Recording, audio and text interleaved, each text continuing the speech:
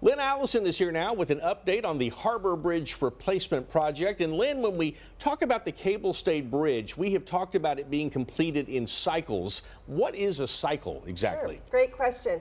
So this past weekend, we just completed cycle 15 of 19. And what that involves in a cycle is lifting 16 segments on each tower. So eight on the backspan side, eight on the main span side, four northbound and four southbound on each side uh, pouring a median slab to kind of create that closure between the directional traffic, and then in, uh, installing delta frames uh, on each side, and that is where the cables connect. So the four set, the cable with four sets in completes the cycle.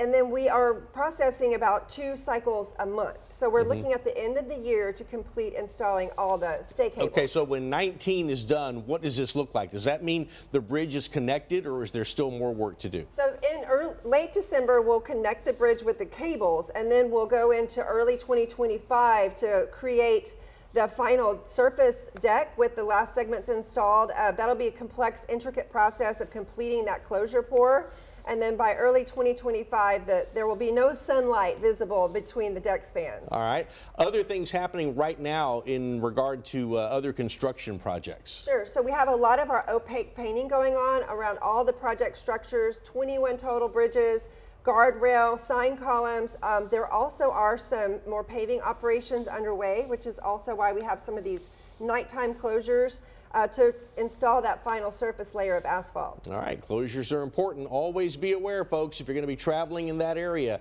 keep your eye open, stay sharp, and uh, pay attention to those closures. Thank, Thank you, Lynn. You bet.